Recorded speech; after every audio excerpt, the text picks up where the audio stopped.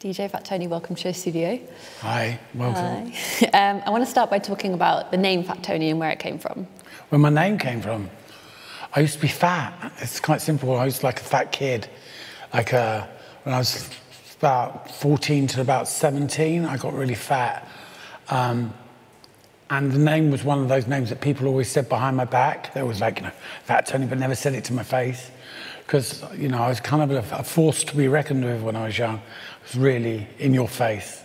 So yeah, it just stuck around. And people always say now, why are you called Fat Tony? You think it's fat. It's just like, fuck off. Do you know what I mean? It's like, that's my name. Just fuck off. Stop trying to tell me what to do. You change it. No. Yeah, right. you just kind of reclaimed it at the time. Yeah, of course. I own it. Yeah. It's good. And so during this time, you were 16 around this um, kind of Fat Tony phase. When did it become this DJ moniker? Uh, I kind of started DJing at 17. So I, uh, I kind of just like, I got kicked out of school at 14 and then started working in a place called the Great Gear Market in Kings Road. And Kings Road in those days was like, uh, God, that's awful, those days. Uh, Kings Road was like Facebook. Kings Road was social media.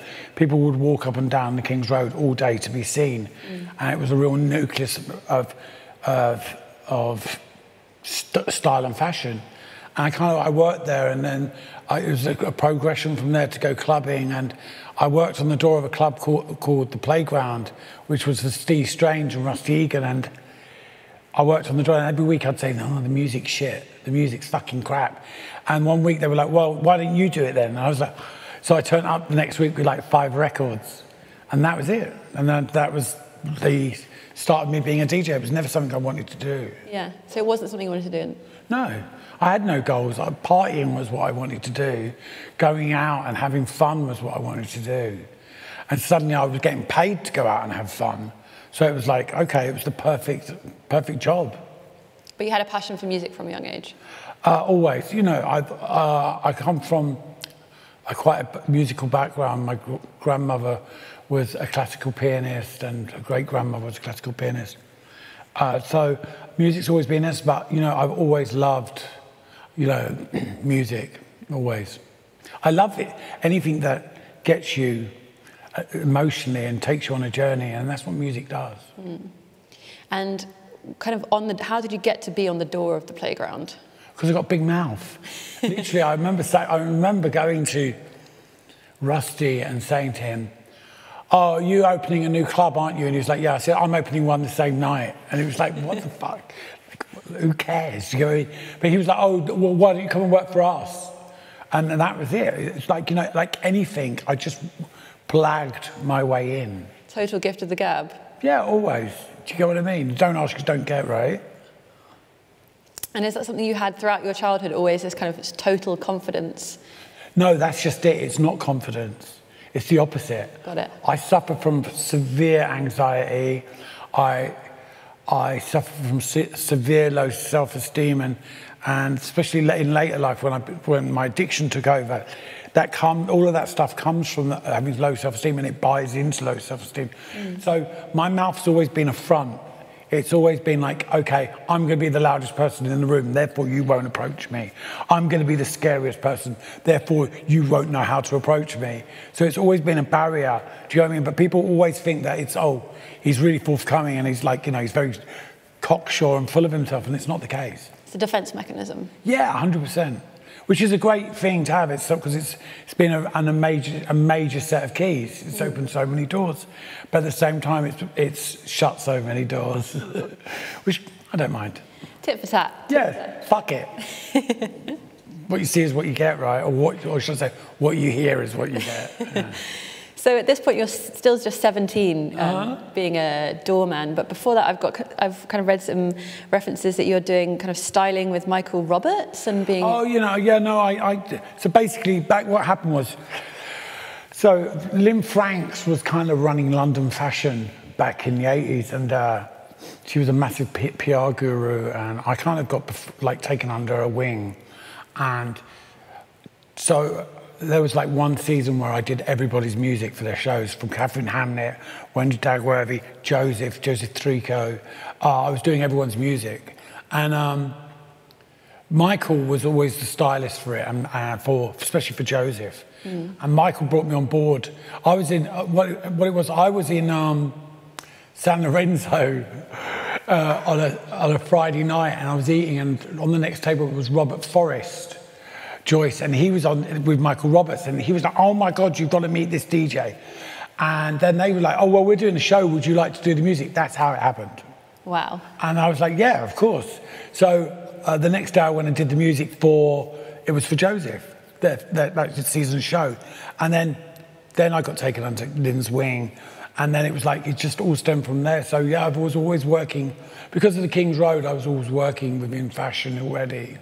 So you're already kind of picking up people from the King's Road, yeah, rubbing shoulders with the right people. Yeah, well, I mean, all those people used to go down the King's Road. Do you get what I mean? As I say, that was social media. So a Saturday afternoon in the King's Road, you would have Rifat Ozbek, you would have everybody walking up and down. You know, that's what people did. It's hard to believe it was so organic. I know, right? But it, you know, that was the 80s for you. Yeah, it's amazing. Um, so what age are you at this point where you're already DJing for quite a few brands and then Joseph? Uh, 17, 18. Yeah. Yeah. Wow. That young already? Yeah, I was, I was really young and I, I did, uh, one season we did, uh, for Joseph, I did uh, Dusty Springfield with Michael Roberts. And uh, we, we, did, we based the whole show around uh, the Dusty's You Don't Have to Say You Love Me and Chain Reaction by Diana Ross. And the whole show was based on that. And we were going to get a drag queen to come out at the end and do Dusty. And uh, I remember being with Michael and Joseph, and he was like, when we were like compiling it all, and he was like, there's only one person who can do Dusty. And I was like, who? And he was like, you. And I was like, so of course, you know, the chance to put on a pair of heels and, and be in drag, yeah, I did it, you know. That's amazing. Which was fun. Yeah. So where are you living at this time? Are you living based, based down in Kings Road? Because I know you're based. I was living in Battersea, Battersea, just over Chelsea Bridge. Yeah. Yeah. Still with family, or you've moved? Yeah. Up? I mean, I was very fortunate that my mum and dad had a house in Battersea, just uh, by Lavender Hill, so it was like five minutes to the Kings Road. You know.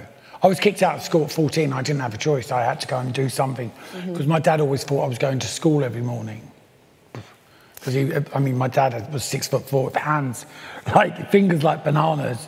So, you know, there wasn't a law of being kicked out of school for sucking off a drama teacher wasn't really going to go down well, was it? Do you get what I'm saying? yeah. So you porcupined to him the whole time and were going yeah. down the King's Road? Yeah. When did he find out? Did he? Uh, he kind of found out. You know what? I don't know what he found out, actually. I kind of think it just kind of just it was an organic process of just like, okay, he's not going to school anymore. Do you know what I mean? I think there was far more greater things happening yeah. At that point in our lives than he was worrying about me going out of the house every morning. You're already pretty successful at this point anyway. I mean, you know, I was leaving the house in drag and stuff like that. I kind of think that was kind of more important to him. that kind of freaked him out more than me, you know. He never ever found out about me sucking off the drama teacher and getting expelled for it. That's good. Um, so when did the kind of drug abuse kick in? Because were you drinking from a young age? Oh, I, I you know, because I, I come from like a long line of, of, it's in my family. Like my dad was an alcoholic early on, and his father and, and my dad's brothers and sisters. Mm. So it's always been in our wiring. And I grew up as a, in, a, in a house where my dad would drink at the weekends, and there, there would be major drama going on. You know, he'd beat my mum up and I grew up in that environment and I always swore that I would never, ever drink, but I'm never going to end up like my dad. And I had this auntie called Auntie Jenny, and I was obsessed. She was an alcoholic, but she was like one of those alcoholics that would lay on the grass hill by our house, like, and throw bottles, empty bottles of woodpecker cider at buses. I loved her. I was just drawn to that energy. Yeah. And I kind of think it was like, you know, what I was drawn to was who I am, because, you know, that's in my wiring, that addiction. So I, when I was working in the King's Road, I would go to the Chelsea Potter after work with everyone and start drinking. And I would always be the last to leave. I was always being the one that was just drunk into blackout. Um, and then suddenly, when I started working in clubs and going to clubs, it wasn't until I was about 18 that I first took my first drug. Mm. Um, bearing in mind, you know, it, it, it was cocaine, and someone's like, oh, drink this, snort this, it will make you, you can, it will keep you awake and you can drink more. And I was like, oh, an aid to drinking? How, how apt. uh, you know, and kind of, I hated it. I hated the feeling. Yeah. I hate the, the, the, the fact that it made me feel paranoid. I hated all of that. But the week next week did it again. And then before you knew it, I was doing it every day. Yeah. But it's so, it's so of that time. I think everyone in that scene was quite consumed by it too. Well, I think they're more so. I come from the era of smack. Mm. So most of the, most of my my um, peers at that time were, had a heroin ad, ad addiction. Right. You know, heroin got London by the balls like G has today on the gay scene. Heroin had everybody in its grips at that point in time.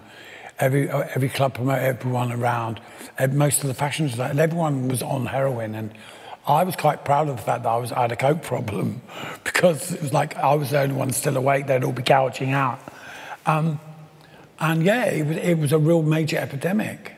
But thankfully, at that point in time, which I find quite hard to say, I, I did have a coke problem and not a heroin problem. Mm. I used to always like glorify the fact that I never ever did heroin, but I used to freebase opium off tinfoil. But yeah, that wasn't smack because it was a different name. Mm.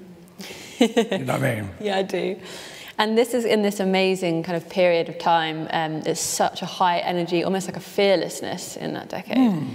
And you are surrounded by some incredible people. I mean, this interview is definitely going to be a name dropping session because there's Boy George and Kate and Naomi and such an amazing Kim group. Jones. Kim Jones. Came later. Oh, you know, oh, that, you know, John Galliano, John Flett, that all the people that there's so many people that came from that amazing era that paved the way for today's fashion.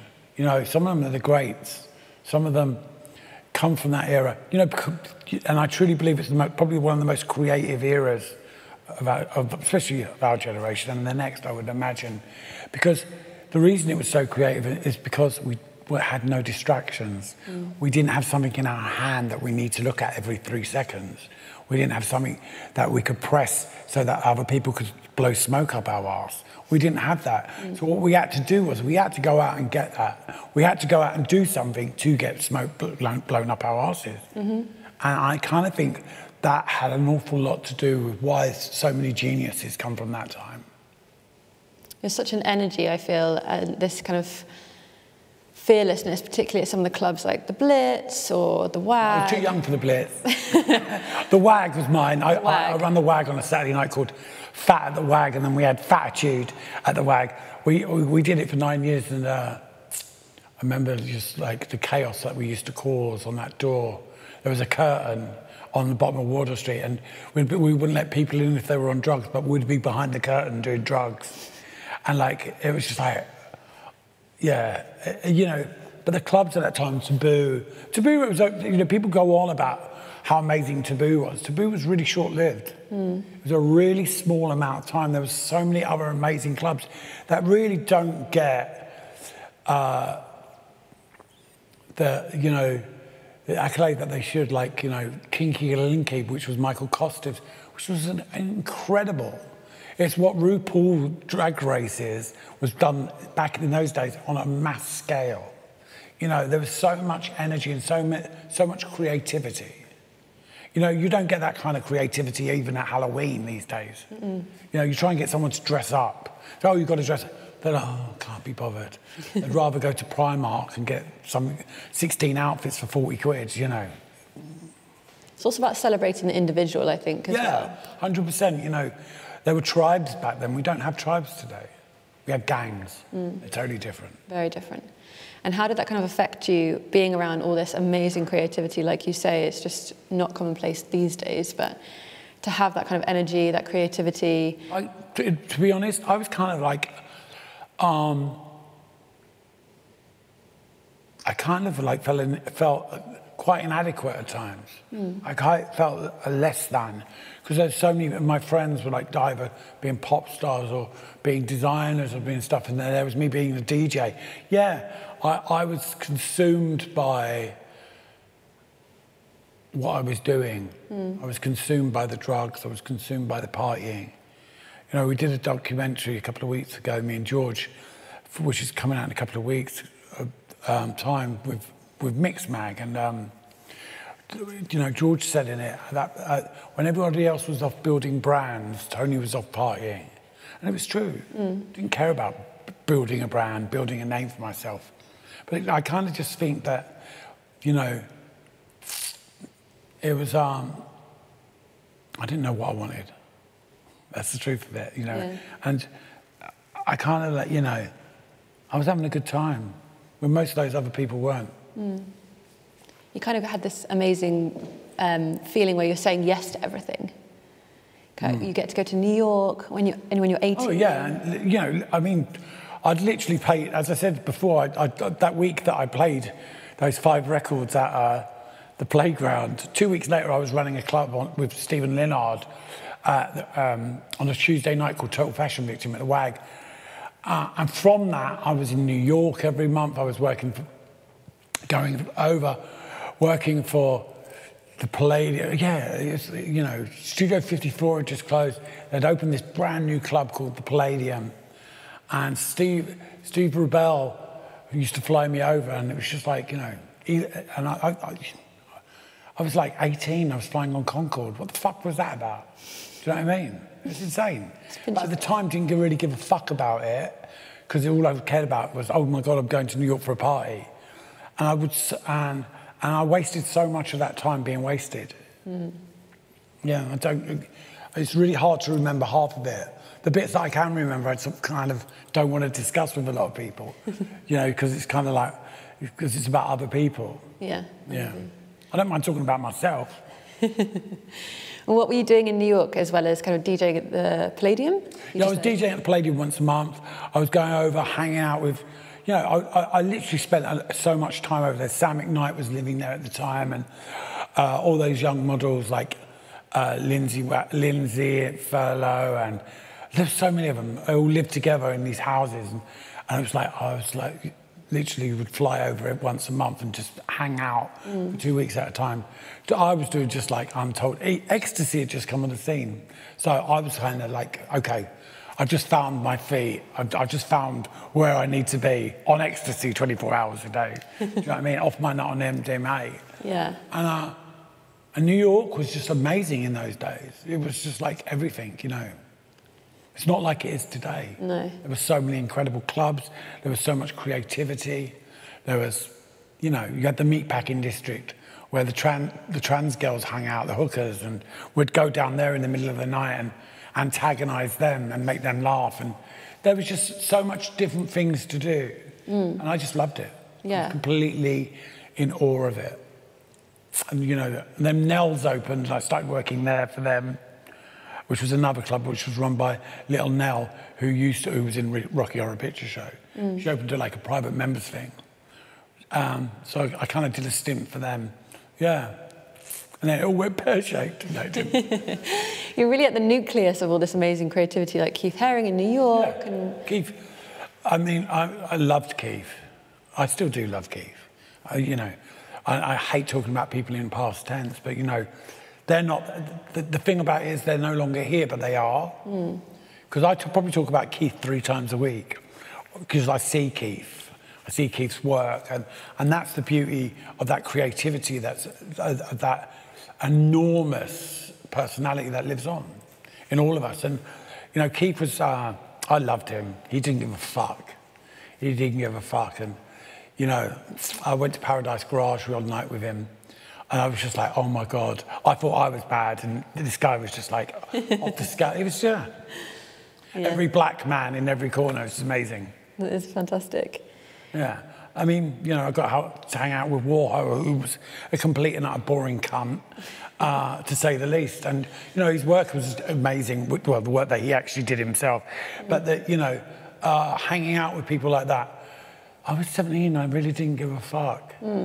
They were lucky to hang out with me, was my, in my head. Do you get what I mean?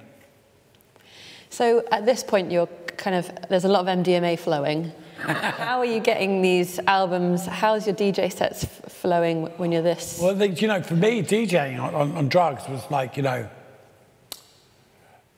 at that point in time, you know, I, I thought I was the bollocks. I really thought I was the bollocks. You know, I remember this one time I went to, flew in to do a party at Palladium, and I arrived, and my friends were at the airport, and they had like a, a, a, a cardboard sign saying with my name, "Welcome to New York," with a bag of MDMA sellotape to it at the airport. And I came through and I was like, "Oh my god, hi guys!" So I dropped the MDMA at the airport, and then literally an hour later, we went to the club and. I remember being behind the decks and I was like, it's not working, it's not working. By this time, I probably had about four capsules. I was like, it's not working. Give me another one. They were like, no. I was like, give me another one. so I remember dro- dropping another one, and uh, I bent down to get a record, and I came back up like Cookie Monster. I was like, and I was like, I've got to leave. And they were like, what? I said, I've got to leave. And I literally played two records. I was like, I've got to get out of here. And they were like, I was like, I put the record on and walked out the club. And I remember the next afternoon getting a phone call and they were like, oh my, and I thought, oh my God, I'm, I'm busted, you know, fucked, I'm never going to come back here again. More interested in the money than anything. Oh my God, how am I going to pay for my drug, drug problem? Um, yeah. I remember getting this phone call, and it was Steve Rubell, and he was like, hey, just letting you know you played an amazing set last night. Everybody was ran, raving about it. Well done, you're so amazing. I wasn't even in the fucking club. I was like, gone. It's like, you know. So when people do that kind of thing, you just think, okay, I'm going to do what I do. Yeah. And were you aware that um, at this point drugs were kind of taking over a little bit? No. No. Still kind of riding. No, I was. I had this preconception that I was in control, mm. and I kind of was to a certain extent, because you know I was still using drugs at that point. I wasn't abusing drugs, mm. and and there's a really big difference between drug use and drug abuse. And this is where people always come across because people go, oh, he's got a real drug problem. And it's like, hang on. When you talk to somebody, as I do when they, oh, I get asked, oh, I, I, think I've got a problem, I'll talk to them. And, I, mm. and, it works out that, you know, you have a recreational drug problem. You're, you're, you, you know, you could go to bed with drugs in your pocket and you can put them in the drawer mm. and wake up and those drugs will stay in your house or in your pocket for three days without you touching them you're not a drug addict. Mm. You know, you've got a problem, you won't be going to bed till you've licked that bag out. Do you get what I mean? And rang 16 other people to try and get drugs. Then, and then finally you will give in. That's the difference.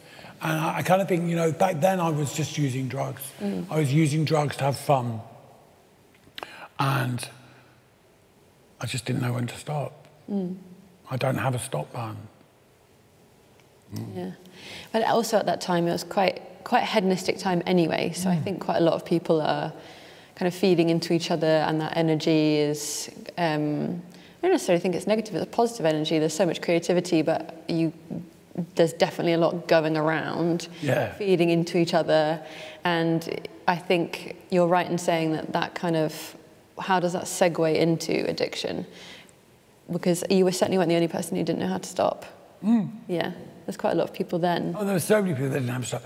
But you know what? It's really, get it's really, um, there's this part of us that always think, oh, I'm not as bad as them. Mm. So that's always it gives you a drive to go on. Do you get what I mean? Absolutely. Because you, you know, you look at people and you think they've got a problem, I haven't. Yeah. You know, I was down to one tooth and I was still looking at people thinking, you've got a problem, yeah. I haven't. I've got great cheekbones. Yeah. Do you know what I mean? Oh, it was like that was the insanity of it because what we do is we, we build up this level in our brain that we think that we're okay. Mm. And, you know, I always say to people that, you know, however bad it got and however shit my fucking life was, it was my fucking shit. Mm. And I was comfortable in that shit because that's all I knew. You know, and, you know, that's the difference between drug use and drug abuse. And you mentioned the teeth, and doing the research for this interview, that is one of the most quoted lines of yours is that you were taking your teeth I out. my teeth out with a screwdriver. Yeah. Yeah, that kind of like, you know, it's been in like quite a few magazines, but yeah, I did. So basically, what it is, you know, I bite my nails because of like, the, you know, my insecurity. I've always bitten my nails. Mm. So you give me a line of coke, and, or, or should I say, six grams of coke. I'm going to sit and I'm going to dig and bite my nails because that's what I would do. And I had this mental state where I would rock backwards and forwards in a chair, mm. thinking I was just, that's what I did, you know, and I would sit and rock. And I would dig and, you know, the paranoia would kick in and I would dig at my gums. And, And what happened was, uh, you know, my gums was getting infest- in, like infected. And I had a thing called, later on in the addiction, further down the line, I had, my, my whole mouth was septic, which is, was called meth mouth, which is like a, a term they use. Where my mouth, I would sit and think that my mouth, I had animals living in my mouth. And I would be so psychotic that I would dig at them and dig at them, and I would get uh, toothpicks and I'd dig in the gums and they were bleeding. But my face would be so numb from drugs, I couldn't feel it. And, and all I wanted to do was get them out of my mouth. So I would pull my teeth and snap them off, and I would get pliers and get whatever was around and just dig at my mouth. And, and in the end, uh, I uh, had one tooth left at the bottom, which I used to pull on all the time. And, um, and in my head, I thought I looked great Yeah. the insane thing. But yeah, uh, it wasn't until after I got clean uh, that I thought, oh my God, I can't walk around looking like this anymore. Because, you know, I, for the last four years of my using, I couldn't look anyone in the face. I would go to work, I would do what I did, I would lock myself in a room. And I, you know, I never looked at the dance floor once in four years. Mm. I couldn't face people of who I'd become. And what I'd become was I would leave my house, I would go to the dealers, I would go to DJ, I would go to a chill out, I would go to DJ, I would go to a chill out, I would go DJ. Weekend would be over, I'd go back to someone's house, spend two days there, and then try and go home. Mm. And that was my that was my life, and it it was fucking awful. It was awful, and you know, I remember being going to see a psychiatrist to try and get into treatment, and. Uh, I remember being with my partner, James, at the time, and the, the, the psychiatrist said, Have you ever self harmed? And I was like, No. Why would I self harm? Never self harmed. And my partner was like, You pulled all your teeth out. And I was like, That's not self harming. Yeah. It was like, I mean, and I wasn't insane. It's, it's, yeah, it's, uh, it's, it's mad. Yeah. You mentioned your partner at the time, and obviously this is kind of in the later half of your addiction, but during this kind of hedonistic, um, I'm temp- not tempted and try, not to say glory days, but it is kind of this amazing um, moment. People wouldn't notice, you know. Is anyone saying to you, Tony, too much? People always said that, but I would fuck them off. You Yeah. know, anyone that got come along that was kind of got in the way of my using or the way of my partying Yeah. got fucked off. They got moved on really quickly. You know, I had, at one point, I had this like castle of people around me. Uh, and I remember my friend saying to me, you know, to get hold of you, you have to go through six different people. And, it, and it kind of was like that in the 90s. And I kind of had like this group of girls and this group of other people that reinforced who, who and what I was doing and made it okay mm. because they were doing it as well. And you know, when you go back in history and you see, I'm not comparing myself to these people, but you know, you look at Warhol and the factory, they're all on drugs. There's one person being surrounded by stuff. And, and, and this is what we create. We create ways and means to do who, what we want when we want. And we have so many yes people and so many people that will tell you you're fucking amazing and will tell you that you ain't got a drug problem because they're feeding off of it. Mm. They're buying into it. And that's kind of what we create. You know, as an addict, it's not all bad. You know, we're, we're, we're some of the most manipulating cunts on this planet. You know, I, I can, you know, I hate that the shit terms like, I could sell snow to an Eskimo. Fuck off. Do you get what I mean? That I, I literally, I can manipulate anything. And because it was survival. It was survival. Um, yeah. And you mentioned that you were kind of pushing people away at this point and just telling everyone to fuck off if they weren't on your side. But you have had some really, really long-standing friends throughout all of this. Kate, you've been friends with for over 30 years. No, I'm, I'm very blessed to have uh, so many incredible friends in the sense that friends that I've had for life. You know, I could sit here and I could reel off 20 names um, of people that are in my life for a reason. And I could reel off 10 people that are in my life because I choose for them to be in my life. Um, and those, out of that 10, they're just, you know, they're people that have stood by me. They're people that have backed off when they needed to back off. because they couldn't be a part of what I was doing. And then when I got clean, they came back into my life for a reason. Um, yeah, I'm blessed in that sense. Because, you know, it got really dark. It got really, really, really dark. And the last thing you need is a friend mm. at that point in time. You need, you, you, have, you need associates at that point in time when it's so dark because those people around you, you want around you because they're on your level. Mm. It's not till you get taken out of that and made to look back in on it and that you actually realize, oh my God, these people aren't my friends. I have got a friend called Lawrence Malice, and he said to me one night, You wouldn't piss on these people if they were on fire. What the fuck are you doing with them? Mm. And it resonated with me. It was like, I just looked around and I just thought, Fuck off, I wouldn't piss on you. And what he was doing was just like saying to me, What are you doing? And of course, you know, how dare you insult my friends? They weren't my friends, they were users. Mm. Those people, the, good, the, the, the most amazing thing about getting clean in the beginning is those cunts jump ship. They're off in different, they're like rats up a drain, but they're gone. Mm. Because you're no longer that, the supplier, you're no longer the party. And that moment of clarity when you realize you're no longer the party is, is, is, is it's, it's a, a gift from God. It really is. It's like, oh my God, I'm not the party. The weight off your shoulders. It really is, you know, because, you know, for years you think, you know, this is my castle, you're all living in it, fuck off. Insane. I want to talk a little bit about um, music because mm. I feel like for you it's very much um, kind of a time machine. It can take you back to beautiful moments yeah. in your life. And there's one song that keeps coming up, No More Drama, Mary J. Blige. Yeah, so it's, uh, say this about crying. And Mary J. Blige, that album, the No More Drama album was See, my hair's a standing end. It's very rare that people get me to that. You know, for me, that album and that track, you know, I listened to that track every day for two years, every day. That and The Soldiers of Twilight Fade, because they were the two of the tracks I was going to have at my funeral.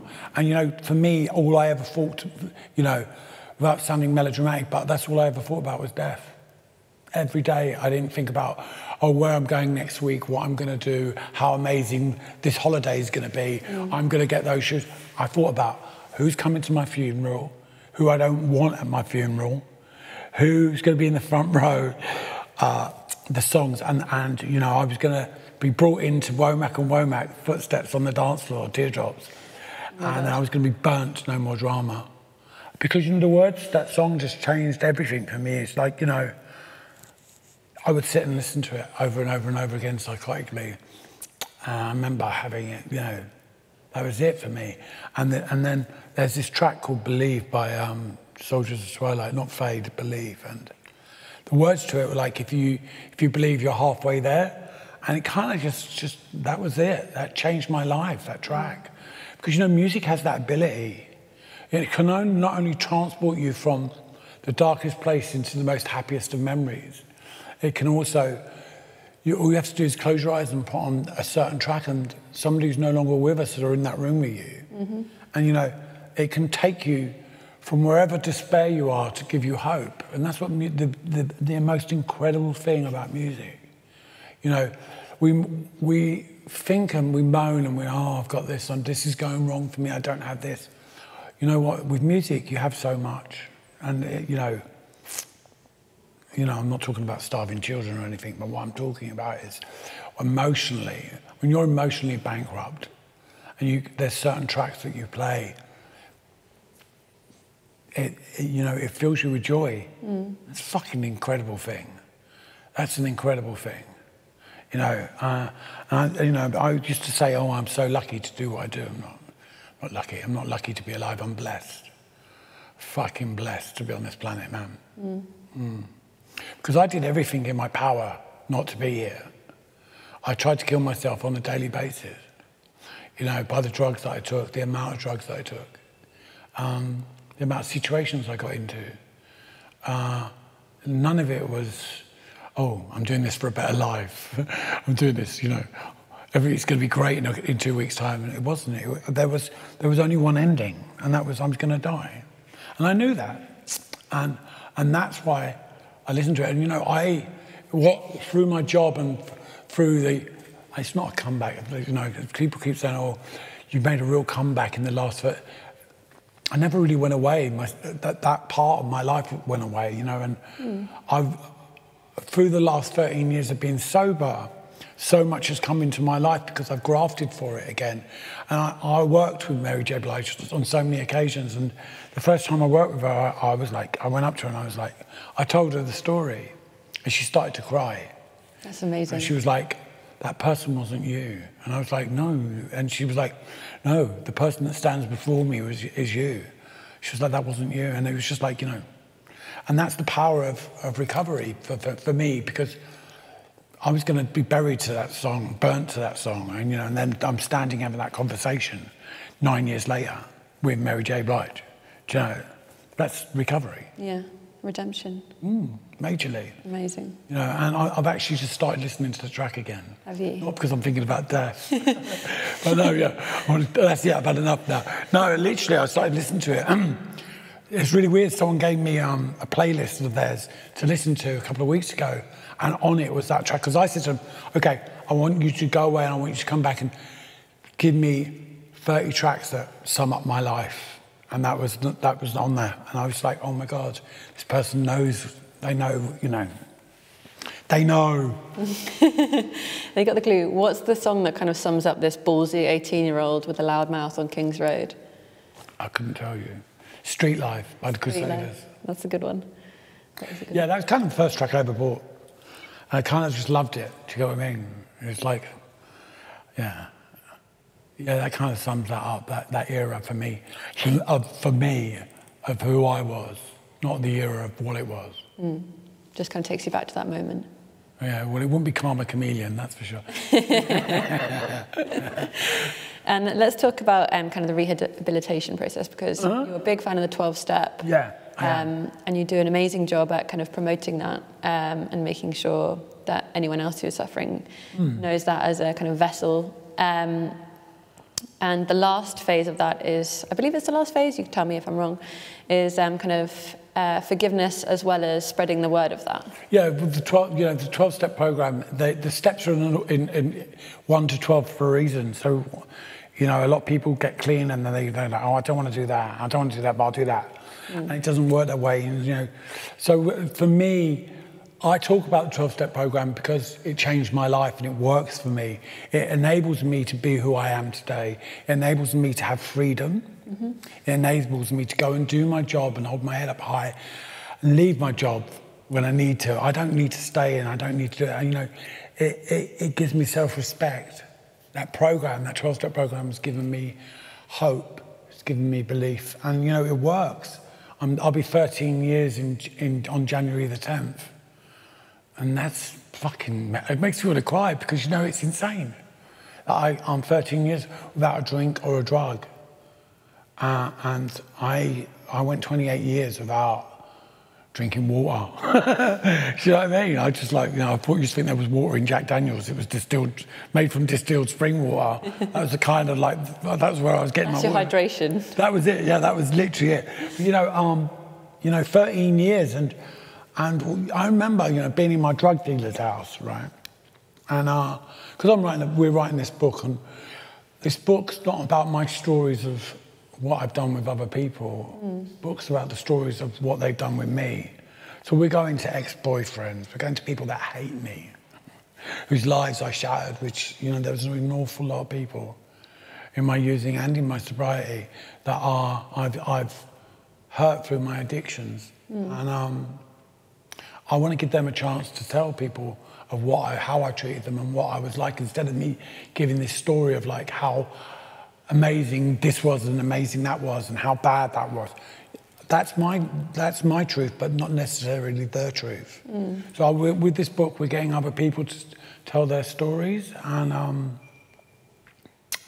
it's kind of really empowering. And, you know, because without the 12 step program, I'm fucked. It doesn't work for everyone. Mm. There are so many other ways of getting clean and so many other ways of staying clean. But for me, it works and it works brilliantly. And you know, the, the, the, the power of it is the fact that the majority of my friends are now clean. Because what we do is we lead by example. I don't go up to people and say, in the early days, don't get me wrong, I used to say, oh, you've got a drug problem. You need me to help you. now that you you've seen the light. Yeah, you know, oh, uh, you know I remember my, one of my friends calling me Saint Tony. And, you know, it was like, fuck off. But, you know, it's like, I'll help someone when they ask for help. And I'll, and I'll go to them and I'll give them options. Because, mm. you know, like they were given to me. And whether they take those options there or then, it's very unlikely. But what you are doing when you go and speak to that person is planting a seed. And then as long as you tell them in a non-judgmental way, I'm here for you, I've got the same problem as you, they'll come to you and they'll ask you at some point.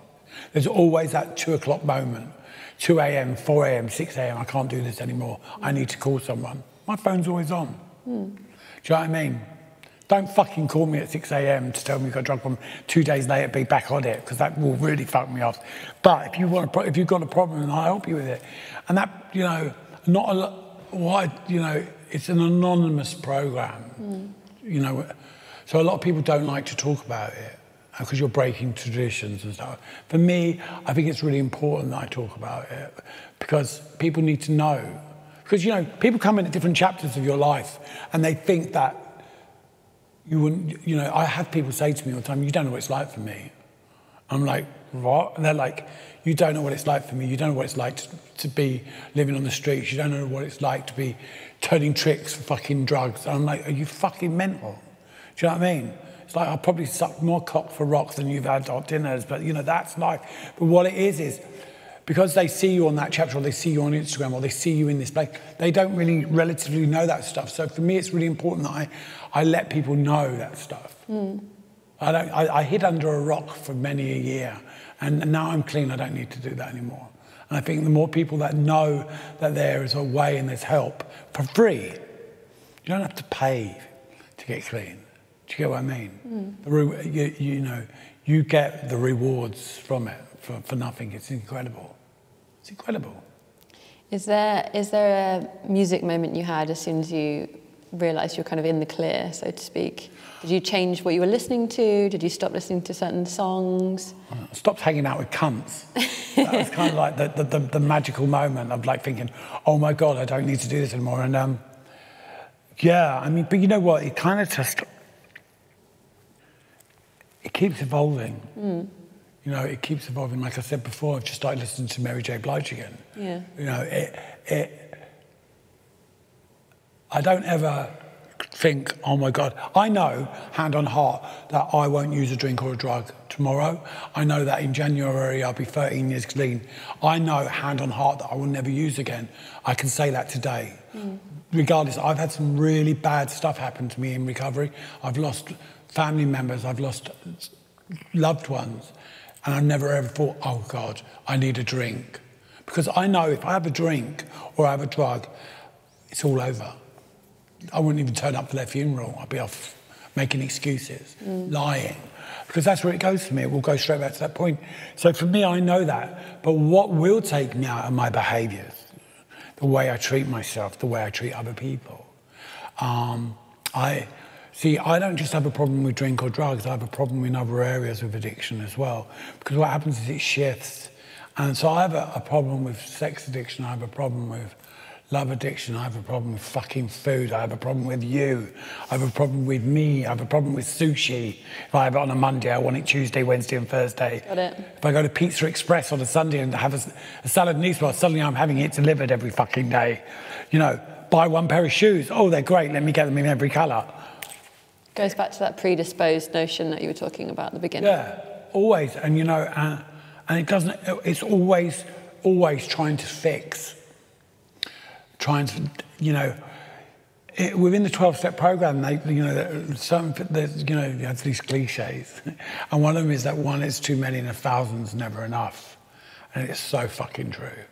It's so true. And I have to remember that. Mm. Do you get what I mean?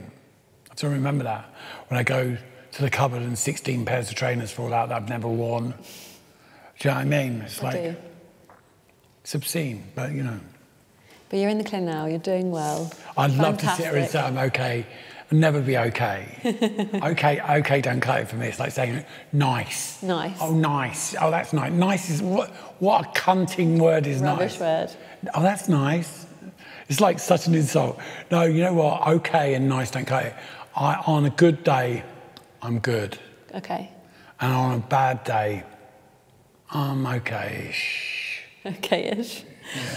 Um, I want to talk a little bit about um, kind of DJing now um, and how that differs because you're in, as we've been saying, you're in such that nucleus of creativity, DJing Yeah. amongst the fashion greats, seeing all this incredible stuff being Yeah. created around you, and now you're very much back in the fashion scene, DJing um, in that world. And I'm really interested to know how it feels in both scenarios. It's, so much has changed; they're completely different, polarized worlds. Um, and how does that kind of affect you and your work? And It, if, to answer the first part of the question, how does it feel? Feels amazing. Uh, I, I, I, uh, I, I truly, truly know what, what happiness is, is again. Because for me, playing music and being, playing it for the right reasons, it's, it's fucking incredible. And yeah, the fashion stuff, you know, fucking Donatella's living room the other week, you know what I mean? It's like, and you know, I've been playing for like the House of Versace again and, and you know, just incredible stuff. You know, I can't go into the amount of people that I've worked for in this last year alone. And, uh, and sometimes I, I go home and I think, I'm going to get found out. I, I, seriously, I, I, I sit there and I think, "Oh, one day I'm going to get found out. They're going to all realise that I'm such a fake because that's what how my addict head works. I'll be I'll be on a, pl- a plane going to work for like to Miami to do David Beckham or whatever, and I, I sat on that plane the whole way to Miami a few months ago, thinking they're all going to hate me when I get there. They're going to hate what I play. Not the fact that I'm flying and they're paying me, you know, but my head will tell me that you're shit. You don't deserve to be here. Do you know what I mean? Because that's mm. my, how my addict head works. But, you know, the ability of my program kicks in and I just think, yeah, I am worth it today. I have a purpose today. You know, I, I, I'm, a, I'm more than capable of being a- an amazing person. I have to remember that. You know, and the job's just, you know, it hasn't just happened overnight. It's, it's 13 years of, of regaining who I am. hard graft. It has been, you know, because people go, oh, the last, last 18 months really kicked off for you. And it's just like, it's taken 13 years to, to get to this point of, of actually starting to love myself again in the sense that I believe in myself. So therefore, when you believe in yourself, someone's going to believe in you. You know, it's like RuPaul says, you can't love, you know, that, that one liner at the end is, Yeah. you don't love yourself, nobody else is going to love It's true. It's so true. Another 12 stepper, you know. Um, yeah, I, I, I sometimes I pinch myself when I'm doing these jobs and I just think, you know, crazy.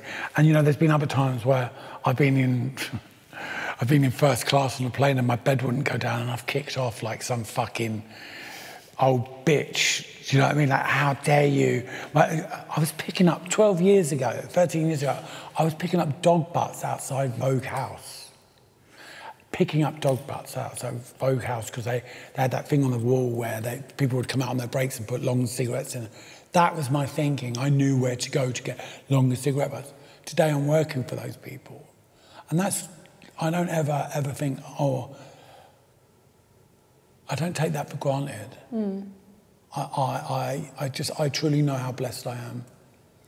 And I truly, you know, I don't think, oh well, fuck you, yeah, you, you know, you deserve, uh, you know, I deserve to be doing this. I don't think like that.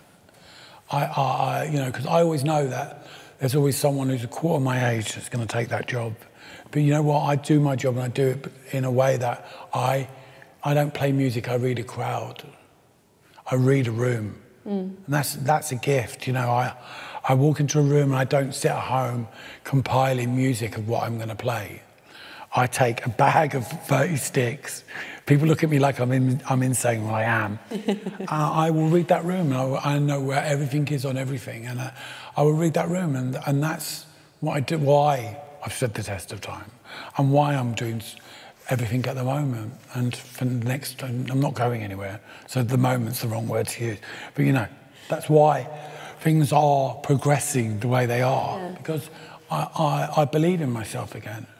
Do you feel like you have to read the room slightly different, differently now in this Instagram age? Oh, totally, 100%. You know, it's, it's, someone came up to me the other day and actually said, Oh, I didn't even realise you were a real DJ. I was like, oh, I really wanted to punch the cunt in the face. But you know, but what do you expect? Because I, I post shit on Instagram all day. Yeah. So therefore, they see me being funny on Instagram and, and they think that the DJ word at the beginning is just a name. Um, you, you, yeah, it's, it's social media. You have to be really careful about who you want to be on social media. You really do. Do you get what I mean? Because I have days where I can be a complete cunt and I'll post a load of really negative shit. And then the next day I'll be posting like some really positive shit. And then that, what that does is it makes me look like I'm completely fucking in, unhinged again. And, uh, you know, I'm, I'm really, if you come up to me, you tell me you like my Instagram, I'm going to tell you, thank you so much. I'm not going to say fuck off. Because you know what? Someone's took the time to come up and they read that stuff every day and they look at that stuff. I'm fucking, I'm winning. I'm winning. If someone come up to me and said, "Oh, you know, your Instagram's a load of shit," I'd be winning too because it is. But you know what? It's my shit. But you know, um, yeah, through the job, you know,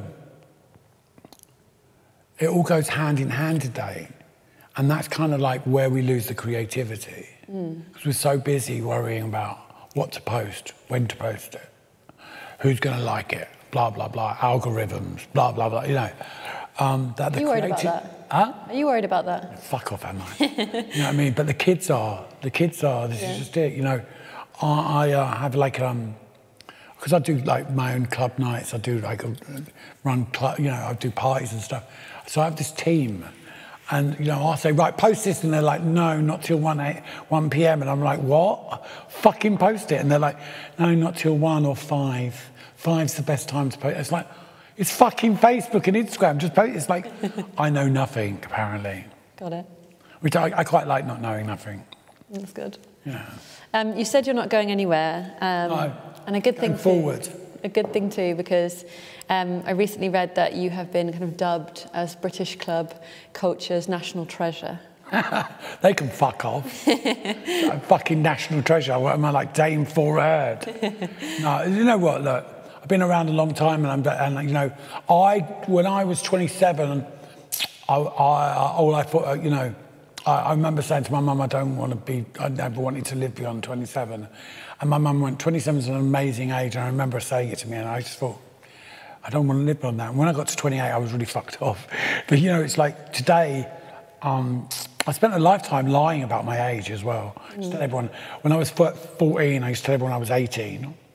And then when I was, you know, blah, blah, blah. And then uh, I remember when I got with David, my partner at the moment, I got with him and I, I was 33. I've been with him seven years. I'm actually 53. But, you know, um, and I remember him finding, he had to ask me a password and it was my date of birth. And, he, and I told him it and he rang me back an hour later and you took, but hang on, what, what was that? And I had to lie again. and then it, it was actually my 50th birthday. And I had, like, uh, it was the first time in my life that I embraced being 50. I thought it was amazing because it's such an achievement. Do you know what I mean? I'm still 16. I'm, I'm still that age that I started using drugs and started getting drunk. That's what my mental age ended. Do you know what I mean? Because when you start doing drink and drugs and you start going into addiction, it's like being in a jam jar.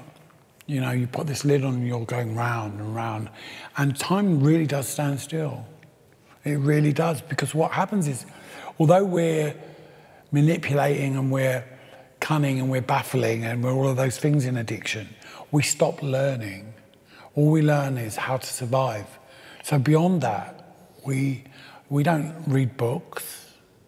I remember a friend of mine who's still using Bless His Heart, who's like, like he's like me, like I was 13 years ago. He's got no teeth. Hmm. And he was one of my best friends, and you know I, I'll always love him. But he, I remember him saying, "People like us don't go on holiday," and it's always resonated with me. It's always like, so you know what? I, I, I make the most. I, I do go on holiday today, and, and, and when I'm on a plane, it always is in my brain that people like us don't travel. Do you know what I mean? And mm. you know what? People like us can travel. people like us can go on holiday and people can like us can fucking live a clean, amazing life and, and reap the rewards from that. You know, without saying, sounding like I'm trying to change the world, you know, I changed my world and that's enough. Do you get what I mean? It's like, that's more than enough. Because, yeah, I was, I'd, I'd be dead. I'd be dead. I would be dead. I wouldn't be sitting here doing this. I would have been de- dead, hopefully not forgotten, I would be dead if, if I didn't had that moment of clarity where somebody said to me, well, my partner James said to me, I was in the, in the cross rocking backwards and forwards in King's Cross, and he came in and he said to me, What happened to you? That was it. It was like this moment of clarity. I couldn't answer the question. And then I was three months later in rehab for a year. You know, I had to go away for a fucking year.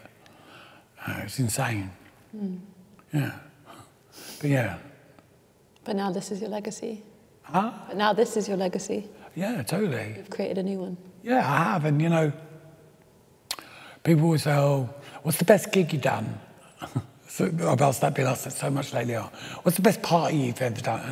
And, and not, it's not happened yet. Because I know that I'm not going to be suddenly stopping what I'm doing. Because mm. I love it too much. Do you know what I mean? And when you love something, you make it work.